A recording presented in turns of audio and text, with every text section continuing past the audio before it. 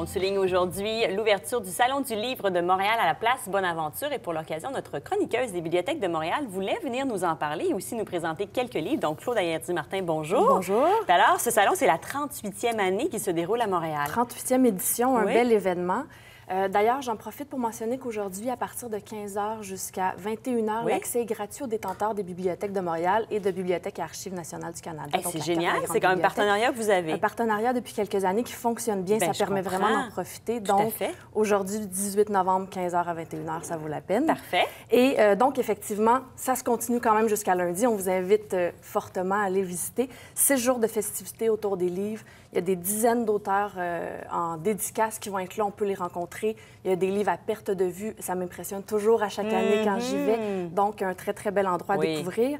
Et il y a une belle programmation, plusieurs activités spéciales. Cette année, il y a notamment trois expositions. On fête les 20 ans de euh, la Maison d'édition québécoise, les 400 coups. Oui. On fête également le 50e anniversaire de la Maison d'édition française, l'École des, loisirs pour la mhm. jeunesse, une très, très belle maison d'édition.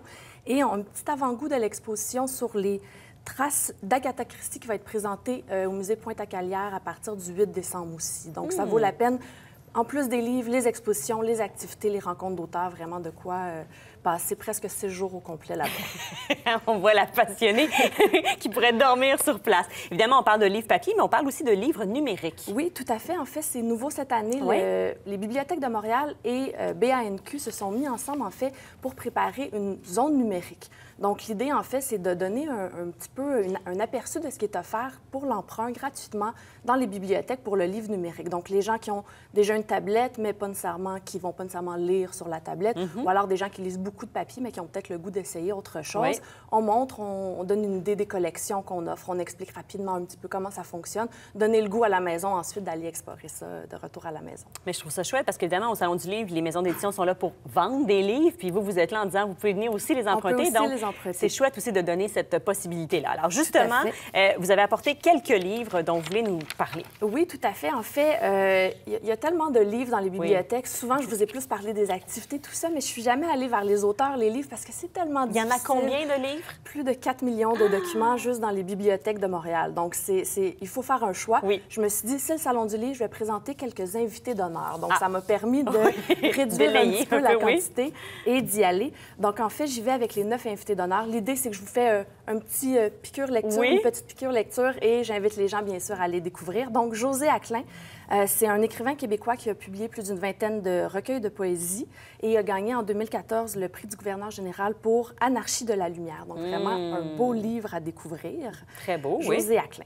Ensuite, on a Kitty Crotcher, qui est euh, une écrivaine belge pour la jeunesse, qui fait aussi les illustrations. Et euh, son dernier livre, Mère Méduse, c'est un album magnifique qui parle de la maternité, de la confiance parent-enfant. Donc, c'est très hmm. émouvant. C'est vraiment un très, très beau livre à découvrir.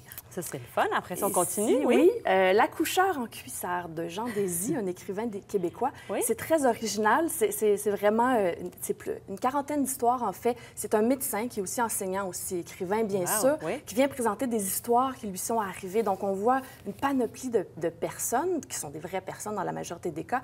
Et euh, ça vaut vraiment la peine. C'est très original. On, a l'impression d'y être, en fait. C'est ça qui, est, hmm. vraiment amusant. Sinon, on continue? Oui, là, on y va avec un historien, en fait, Gilles Laporte, qui est aussi auteur de bande dessinée. Des fois, il vient euh, faire un mélange des deux. Ici, on est vraiment dans l'histoire des patriotes. Donc, euh, c'est très complet. C'est sûr qu'on peut se dire, ah, c'est un peu sérieux l'histoire, tout ça, mais vraiment, ça se lit de façon. Il est enseignant aussi, ça paraît. Oui, on voit vraiment dans la lecture. Mais c'est chouette parce que c'est des auteurs qui font différentes choses, donc qui ont une vision différente, ça, qui amène. Avec les invités d'honneur ben de donner un aperçu de ce qu'on fait. Euh, il y a aussi Monique Prou, donc, qui est une auteure québécoise vraiment très, connue. Très, très, connue. Et dans son dernier roman, encore une fois, on hmm. découvre des personnages extraordinaires. Dans la ville de Montréal, justement, des... un peu partout. Donc, on découvre la ville en même temps. Euh, ça fait très plaisir. Une BD? Oui. Je sais que tu aimes bien les BD. Oui, j'aime beaucoup la BD. Donc, euh, Sampard, qui est un des illustrateurs les plus connus, en fait, qui est très, très prolifique au Québec. oui. Québec, oui. Et ça, en fait, c'est une bande dessinée qu'il a fait lui-même. C'est le quatrième tome, si je ne me trompe pas. Mm-hmm. Et très, très original. Le personnage principal, c'est un bébé. donc, mais qui, qui, est un peu effrayant, on ne se le cachera pas. Donc, c'est très, très amusant à lire, très différent.